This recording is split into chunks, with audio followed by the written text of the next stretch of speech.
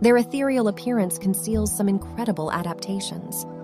Sea angels belong to a group of sea slugs known as pteropods. Their wing like appendages help them swim effortlessly, resembling delicate angels dancing in the sea. These otherworldly creatures feed on tiny marine organisms, such as plankton, using a specialized structure called a radula. Reproduction in sea angels is unique too.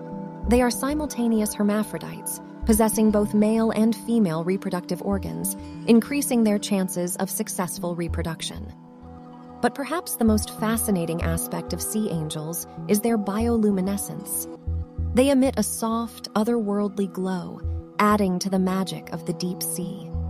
So, the next time you find yourself pondering the mysteries of the ocean, remember the fleeting beauty of sea angels, captivating reminders of the enchanting diversity that lies beneath the waves.